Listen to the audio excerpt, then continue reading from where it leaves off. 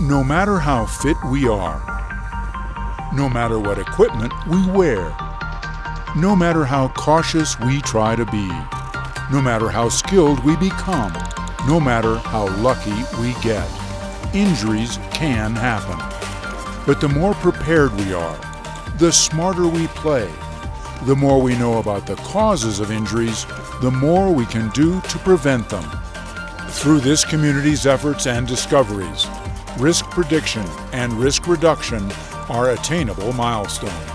Less as the outcome of more, more research, more data, more new ideas, more great minds working together, establishing new protocols, advancing translational medicine, achieving real world results.